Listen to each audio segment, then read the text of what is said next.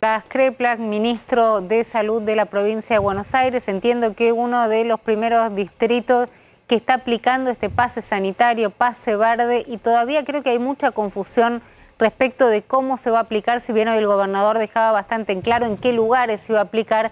Hay muchísimas preguntas al respecto. Nicolás, muchísimas gracias por estar ahí del otro lado. ¿Qué tal, Romina? Buenas noches, ¿cómo estás?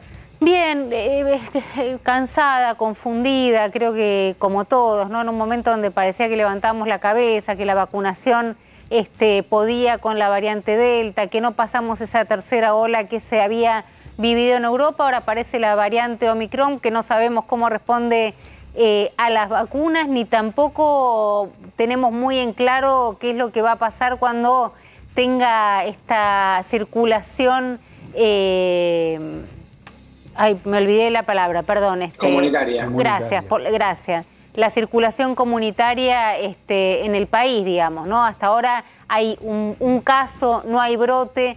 Eh, y después, ¿cómo se va a controlar? Digo, las preguntas son un montón, contestámelas en la medida que puedas, pero además, ¿cómo se va a controlar este pase del que hablaba el gobernador y que se va a implementar a partir del 21 de diciembre? ¿Quiénes van a controlar que en los restaurantes, en los lugares cerrados, efectivamente todo el mundo tenga ese pase?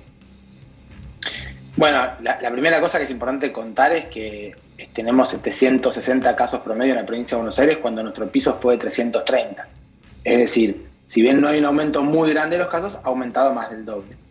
Que estamos viendo que en el hemisferio norte, en el, otoño y el, el, comienzo del invierno, hay un rebrote muy grande, especialmente en la población no vacunada, y que si bien Argentina es uno de los países que más porcentaje de población tiene vacunada del mundo, sigue habiendo un porcentaje importante que no se vacunó. En la provincia de Buenos Aires tenemos eh, cerca del 82% de la población que se vacunó, pero hay entonces más de un 15% que no se vacunó.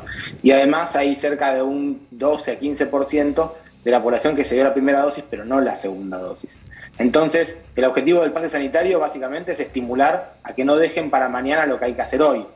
Eh, porque si nosotros podemos vacunar a la población ahora, vamos a estar preparados para cuando estemos en peores condiciones epidemiológicas y logremos evitar todo lo que contabas recién vos, las restricciones y todo lo que está pasando en otros lugares del mundo, que queremos evitarlo, pero para eso sabemos que lo que hay que hacer es estar vacunados. Así que a partir del 21... Sí. Sí. No, digo, es una especie de estímulo que de hecho ha funcionado en otros lugares del mundo porque de alguna manera es lo que te va a permitir salir, ir a un restaurante, ir a un cine, ir a un, este, no sé, a un recital porque te quedas afuera. Claro, y además también es justo que si uno se cuidó, se vacuna, hace todo lo necesario para, para tener menos riesgo posible, va a un lugar donde no elige con quién está y otros no hacen lo mismo. Entonces la verdad que para ser solidario y ser justo, cuidémonos todos y sabemos que, que se vacuna no solo tiene menos riesgo personal de enfermarse gravemente, sino que además tiene mucho menos riesgo de contagiar a otros, que esto es muy importante. Entonces, a partir del 21 empieza a correr. Entonces tenemos ahora un poco más de dos semanas para ir a vacunarse. Los vacunatorios en la provincia están abiertos de lunes a lunes. Entonces podemos ir a vacunarnos de acá sin hasta, turno. hasta el 21. Sin, sin turno en la provincia de Buenos Aires es sin turno para todos los que tienen más de tres años en la primera dosis y a partir del viernes más de tres años para la primera y para la segunda dosis. Este pase sanitario es para la primera y segunda dosis. Los refuerzos sí son con turno, vamos a estar vacunando todo el verano los refuerzos, pero también terminemos de vacunar a esta población que hace falta. Y también el, el objetivo es que eh, nosotros vamos a poner postas de vacunación, por ejemplo, en la costa, en todos los, balnearios en la costa, vamos a acercarla como venimos haciendo hasta ahora, el casa por casa, seguiremos haciendo ese esfuerzo muy grande. En la provincia son más de 23.000 trabajadores que están abocados a, la campaña de vacunación hace un año. Entonces vamos a seguir con eso, porque el objetivo, insisto, no es que la gente no vaya a comer, sino que se vacune y puedan salir a disfrutar de un verano lleno de actividades, de deporte, de cultura y también de actividad económica. Pero Nicolás, lo que te pregunto es Nicolás Creplas, que es el ministro de Salud de la provincia de Buenos Aires. Se están adelantando, creo, no, no, no sé eh, qué, otro, qué otras provincias lo están implementando, pero digamos, esto fue una gran noticia eh, respecto a lo que está pasando en la ciudad de Buenos Aires. ¿Quién va a tener el poder de policía? Te cuento lo que hablábamos acá eh, con, los compañeros fuera de aire. Después de, bueno, de dos años desastrosos que ha tenido, por ejemplo, digo, te pongo un ejemplo, la, la industria eh, gastronómica. Van ocho personas a comer, no tienen el, pase. Es difícil decirle, ¿saben qué? Se levantan. Tenés la posibilidad de, no sé, de, facturar ocho cubiertos. No, no tienen el pase, se levantan y se van. Digo, va a quedar a criterio de cada uno de los, no sé, de, los comercios, de, No, no, eso va, a ser obligatorio. Es una responsabilidad. Pueden poner una mesa afuera y comer afuera, pero si quieren comer adentro, tienen que hacerlo eh, con, estas condiciones. ¿Cómo vamos a fiscalizarlo? La provincia de Buenos Aires tiene, una, dirección de fiscalización, donde nosotros, por ejemplo, fiscalizamos el cumplimiento del aislamiento. También nos dijeron, es imposible hacerlo, pero lo hicimos y garantizamos que la, que la, la cepa delta, la variante delta, que tuvimos el primer caso el 4 de junio, no fue mayoritaria hasta octubre. Y en ese proceso vacunamos a toda la población, en primeras y en segundas dosis. Así que si lo que hay que hacer, lo hacemos, con mucho trabajo, con mucho esfuerzo, pero lo hacemos. Pero no me quedó claro, perdón, perdón, Nicolás. Sí, pero no me quedó claro quién, quién lo fiscaliza o quién tiene el poder de policía. ¿El, comercio o...? No, el, comercio, el comercio, claro, tiene que pedirle a, sus usuarios. Como se acuerdan que hace un tiempo también se pedía la temperatura para ingresar, y si tiene fiebre ingresaba. ¿Se va a perder venderle a alguien una ropa si tiene fiebre? Sí, porque es peligroso.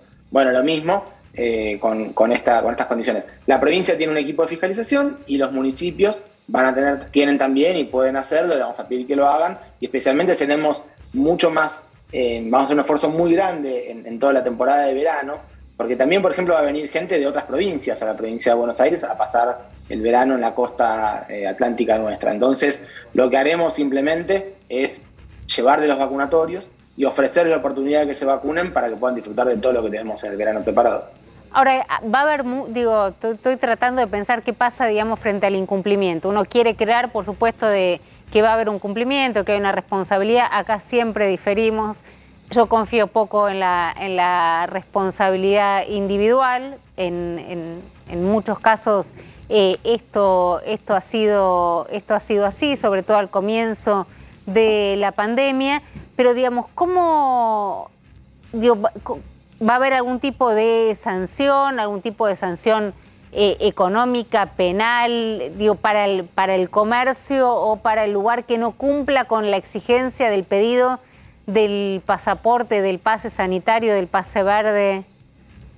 Sí, la, resolución firmada en conjunto eh, entre el Ministerio de Salud y, el jefe de, gabinete de la provincia establece una nómina de de, penalizaciones que ya están vigentes desde el, invierno pasado. Pensemos que esto ya estaba, en, el verano pasado ya existía, acuérdense que por ejemplo había un, horario de cierre de, los, de la actividad nocturna, de los restaurantes y de bares, cuando no teníamos vacunación. Nosotros no queremos para nada que nada de esto suceda, no queremos un rebrote tampoco. Entonces, para evitar todo esto, tenemos la vacunación. Y después está todo el sistema de penalizaciones que ya está vigente hace mucho tiempo en la provincia de Buenos Aires y que se irán aplicando. Pero la idea, insisto, eh, no es la penalización. La idea es que todos nos hagamos responsables de, saber que la vacuna está, que tenemos vacunas para todos, que tenemos la capacidad de vacunar a todos los que falten en pocos días y llegar a que esto sea, sea sin problema. Pensemos en esa gente que se dio la primera dosis y no se dio la segunda dosis, que no son antivacunas, porque ya se vacunaron. No, no, eso no lo entiendo. No, se quieren vacunar. no lo entiendo, no lo logro entender. quizás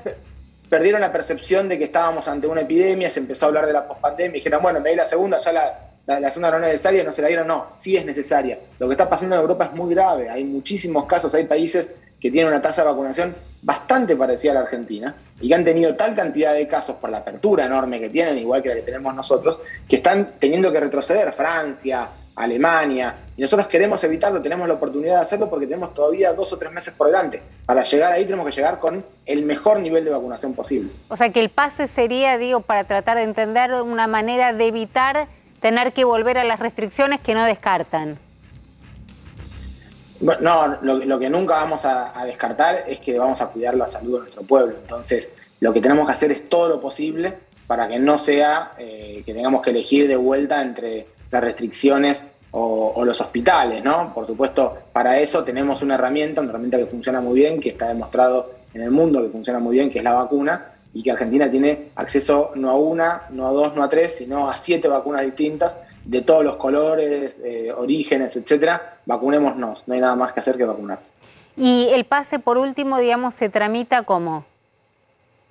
Es muy fácil porque nosotros en la provincia tenemos el vacunate PBA, que es una aplicación del celular. Le dimos una tarjetita en los vacunatorios que tiene un QR de acceso a la información. O está el cartoncito con los sellos del vacunador que le puso, o está la aplicación de Nación que se llama Mi Argentina.